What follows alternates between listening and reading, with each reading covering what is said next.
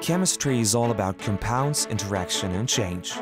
Follow us back in time to see how it all began for what today is called science of synthesis, the world's largest collection of tried and tested synthetic methods in organic chemistry.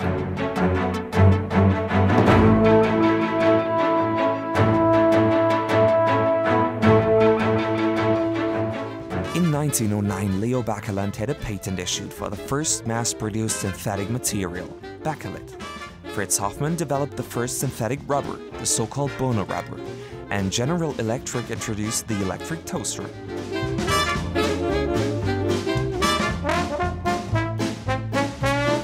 Also in 1909 in Berlin, chemist Theodor Weyl published a book called Methoden der organischen Chemie, a book that would lay the foundation of a hundred-year-long endeavor of countless organic chemists around the world, and which would make his name famous.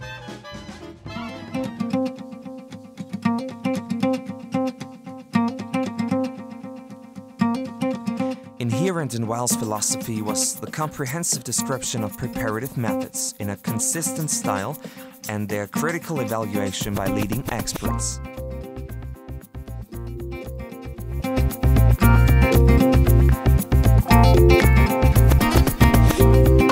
While World War I turned the world into a battlefield and a decade later Black Friday destroyed all hope for an economic revival, chemistry changed the world in its own way.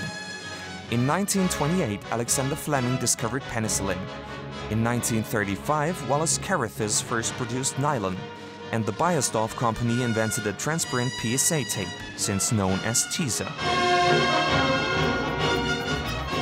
Already 1913, Heinrich Houben, then chemist in Emil Fischer's lab in Berlin, directed his attention toward the work of Weyl. Houben started to work on Weyl's Methoden der organischen Chemie and further developed it with amendments and additions. World War I interrupted Houben's work on Weil's book, and only in 1923 he was able to finally publish the second edition of Methoden der organischen Chemie, and in doing so further contributed to the good reputation of German chemistry. Already in 1925, the third edition was published.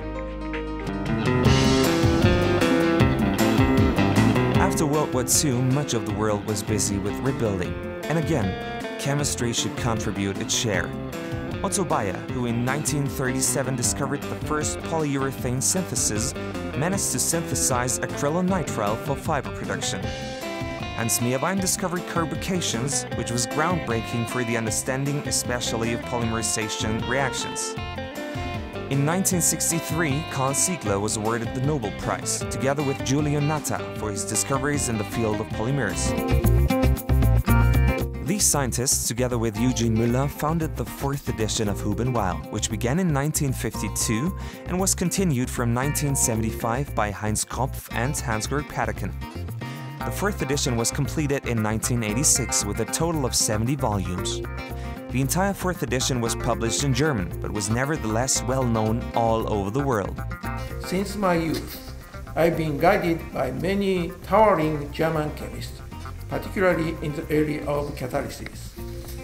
I have long respected the glorious tradition of German chemistry that is characterized by the scientific originality, steadiness, and practicality resulting in enormous technological and economical impact. Thus, I do appreciate the Thieme Publishing House for the unfailing effort in this respect. One of the best ways to track chemistry was to use this wonderful series Houben-Weyl. Uh, it's, uh, it's its 100th birthday this year, and I find that the recipes in it from my, during my uh, lifetime have always been excellent. And I was lucky to take in high school, I took German and uh, learned to read it well and even speak it. And that was the only foreign language I have, but it really led me into this wonderful world of things that work. The 80s saw the fall of the Berlin Wall. On the chemistry front, azidothymidine was the first drug to be authorized for the treatment of AIDS. And the total synthesis of Taxol marked an important step in the fight against cancer in the 1990s. During this era, the Houben-Weyl series was updated with 90 additional and supplementary volumes. After 1990, Houben-Weyl was published in English, thus making it more accessible to chemists worldwide. Houben-Weyl seemed like a never-ending story of more and more volumes. I think this was a reflection of how chemistry was done in Germany in the 50s, 60s and maybe even in the 70s of the past century. Professors had not chased up money all the time from funding agencies, but they could really focus on a topic and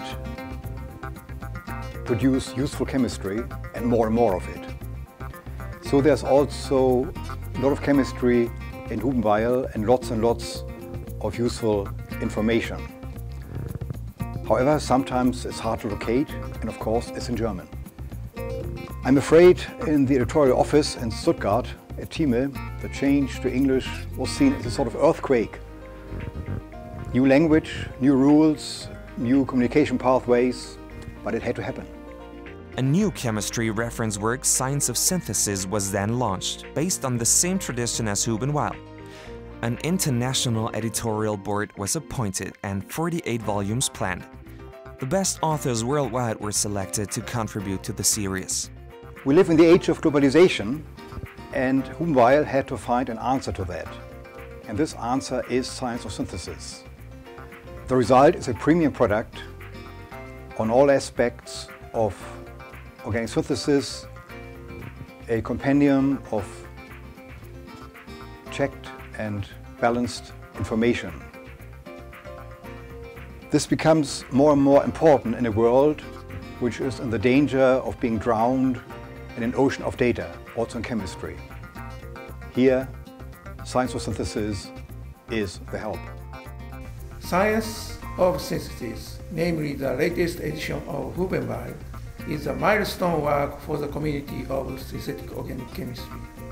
It will be the most widely used resources in organic synthesis in both academia and industry.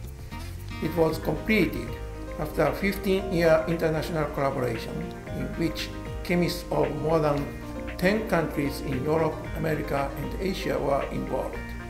I do appreciate our colleagues worldwide who participated willingly in this very long-term endeavor. We noticed that the 48 volume products were published in English, not German, used in the earlier editions. This is very beneficial for students and researchers in non-European countries, particularly in Japan. And today, this, this continues as Houben-Weyl and the science of synthesis, which is uh, the current uh, uh, continuation, and it's just the same as the old.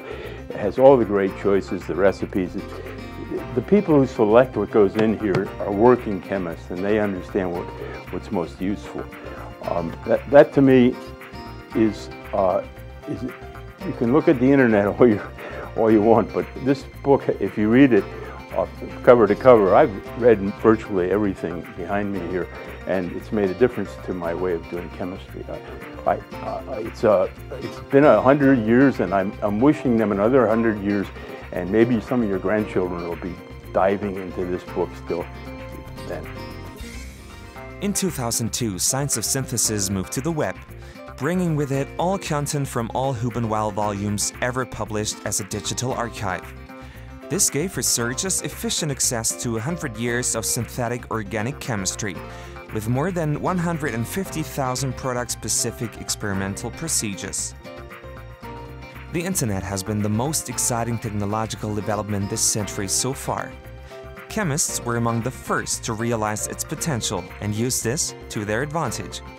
To realize the transition from print Houben-Weyl to electronic format science of synthesis was um, in that respect probably the, the most challenging uh, uh project uh, we, we ever had and of course we we did learn an awful lot of things and, and, we made a lot of mistakes and had to do things again and so on. And many of the things we learned in the Houben-Weyl Science of Synthesis uh, project we uh, later and today could very well use in all other fields that we are publishing in. So we say happy birthday Houben-Weyl and Science of Synthesis and here's to the next hundred years.